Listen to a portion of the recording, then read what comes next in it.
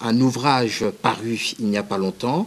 Euh, comme vous le voyez, euh, Laurent Désiré Kabila, l'actualité d'un combat sept ans après. C'est donc sous sa direction, mais aussi sous celle de Jean-Marie Dikanga. En te portant sur les fonds bâtissement, je te souhaite grand succès et longue vie pour qu'à jamais Mzé reste vivant dans la mémoire collective, car les paroles s'envolent et les écrits restent. Bonne chance et félicitations à tous les auteurs.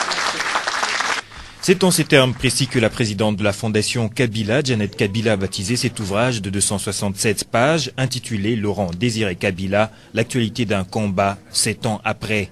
L'œuvre portait sur les fonds baptismaux réunit en fait les témoignages d'une trentaine de personnalités du monde politique, universitaire et culturel, sous la direction du professeur Edith Tamboué, directeur de collection chez l'Armatan, et Jean-Marie Dikanga Kazadi, ministre provincial de la culture et art du Katanga et président des éditions CLD, communication, librairie, documentation de Lubumbashi. Pour le premier, cet ouvrage représente une véritable contribution à la renaissance éditoriale en République démocratique du Congo et pour le second, c'est un véritable témoignage vivant de l'action et de la vie de feu le président Laurent Désiré Kabila. Quelques auteurs révèlent en avant-première leur contribution. Ma contribution, c'est c'est l'expression de la volonté de participer à ce travail dont la motivation est de restituer la grandeur d'un homme, d'un esprit, faire en sorte que ce qu'il incarne, ce que Mouzé Laurent Désiré Kabila incarne, demeure un livre ouvert pour que chacun de nous aille s'y abreuver. Je crée dans ma contribution Kabila à De Gaulle et j'en conclus qu'à l'avenir, et tant que le pays sera en crise, il faudrait que la diplomatie soit en fait l'œuvre ou la compétence exclusive du chef de l'État, comme en France. Nous avons voulu, à, travers différents angles de vue, que chacun avec son expérience personnelle et euh, l'expérience vécue avec Mouzé ou les idées qu'il a retenues, de rendre, de témoigner en intellectuel avec toute la rigueur scientifique, même si, bon, il y a toujours un côté cœur avec Mouzé. Euh, C'était un homme de cœur d'ailleurs, euh, donc qui peut de temps en temps se glisser entre les lignes, mais sur l'essentiel, témoigner de toute l'expérience qu'on a eue de Mouzé. Euh, cet ouvrage est une réalisation qui sticule autour de deux concepts. Le premier concept, euh, il, est, euh, il a un porté politico-historique, mais concept également technique, puisqu'il s'agissait de réaliser une collaboration technique entre un éditeur local, en l'occurrence le CELD, et les éditions L'Armatan, où nous travaillons. Touche finale de ce vernissage, c'est la vente promotionnelle de l'ouvrage avant la dédicace par les auteurs. Comme je le disais, Congo Kitoko, c'est pour vous permettre, vous, de la diaspora, euh, quelquefois d'en savoir un petit peu plus sur ce qui se passe dans notre pays, le pays que vous avez laissé. Pour la plupart d'entre vous, oh, il y a plusieurs années. Saviez-vous, par exemple, vous qui avez quitté le pays peut-être il y a une dizaine d'années, euh, connaissiez-vous un certain Jean-Marie Dikanga Kazadi? Oui, c'était un journaliste, présentateur de nouvelles à la télévision nationale.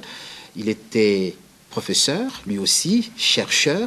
Il est rentré dans la politique comme conseiller, directeur de cabinet. Aujourd'hui, il est ministre provincial de l'Intérieur dans la province du Katanga. Ça, vous ne le saviez pas. Mais dans Congo Kitoko, voilà une occasion peut-être pour les savoir. Sinon, si vous le saviez, tant mieux. Alors, il fait partie de ce duo qui a initié ce bouquin. Alors, un mot là-dessus avant de retourner à la musique. Oui, un mot rapidement. Euh, c'est que c'est un livre. Euh, l'idée, l'idée autour de, ce livre, c'était de créer un événement euh, à double symbolique. D'abord, euh, nous sommes un pays euh, qui s'interroge, je vais dire, par rapport aux problèmes que nous avons. Nous avons des problèmes de, construction de, de l'idée de nation, nous avons des problèmes de sécurité, pensez à ce qui se passe à l'Est, nous avons des problèmes des contrôles de nos territoires.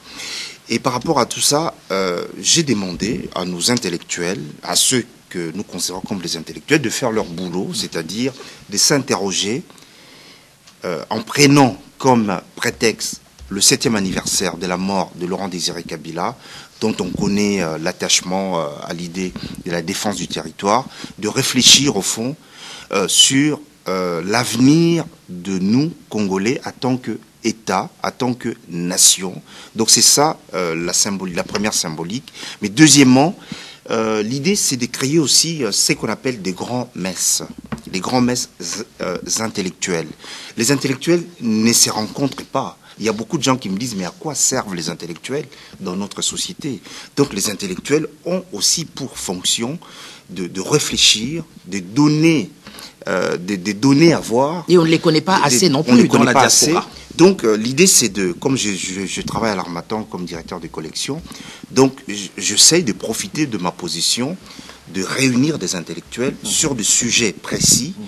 pour, pour le pousser à, à accoucher en fait, à accoucher au sens, euh, au sens physique hein, donc, du mot. Est-ce que ça a été facile d'avoir la contribution des gens comme, très rapidement, Grégoire Bakandenja Wampungu, Arthur Jano Bakasanda, Emmanuel Bébé Béchelemou, j'ajouterai Béché, Philippe Bioya Makuruka Anja, Évariste Bochab, Jean-Marie Dikanga Kazadi, Dikos, Vital Kamere, Tarsis Henri Kasongo Mwema Yamba Yamba Mutoni Mukalebwe, Augustin Katumba Mwanke, Moïse Katumbi Chapwe, Prince Kaumba Lufunda, Jacques-Joseph Keba Taoukabila, Barnabé Kikaya Bin Karubi, Jean Bosco Kindomba, Jean-Marie Vianney Longonia Okungu, Dembe Dote, Lambert Mende Omalanga, Jean-Claude Matumweni Makwala,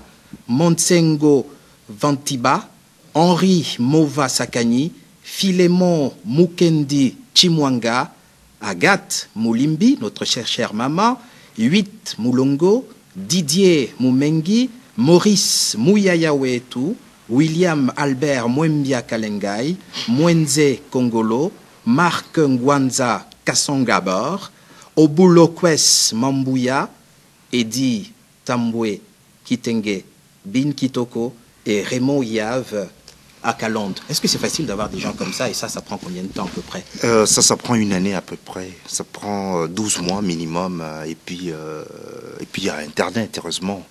L'idée, en règle générale, ce sont des professionnels. Hein. C'est ça la chance du livre. Ce sont des professionnels de l'écrit. C'est des gens qui ont qui ont l'habitude d'écrire, de réfléchir. Donc, il suffisait de mettre en place une organisation pratique pour, euh, pour, euh, pour que la mayonnaise prenne. Et la mayonnaise a pris. Parce que le livre la mayonnaise a pris. Le livre aujourd'hui euh, a atteint le 20 000 exemplaires, ce qui est rare dans le domaine de l'édition. Donc voilà. Quel public? Quel public Pour ce livre, ben, les publics d'abord euh, congolais. Nous avons, je reviens de Kinshasa, où nous avons fait pendant deux semaines, nous avons fait une promotion euh, comme on en fait rarement dans notre pays. Nous avons fait une promotion qui, qui nous a conduit à Kinshasa, à Lubumbashi, euh, avec des auteurs. Nous avons animé plusieurs émissions de télé et des radios, et, et d'ailleurs nous avons beaucoup écrit dans la presse locale aussi. Qu'est-ce que les Congolais lisent? Les Congolais lisent. Ça, c'est encore un lieu commun. On demande si les Congolais. Évidemment, les Congolais lisent. Est-ce qu'ils ont les moyens de lire? Ils ont le moyen de lire. Dans un pays. Ce livre, par exemple, coûte 27 euh, euros. Et en francs congolais, je ne sais pas le dire. Mais chez nous, il coûte 30 dollars. Mhm. Il coûte 30 dollars dans un pays où tous les bars les soirs sont pleins, dans un pays où les gens sont super bien sapés.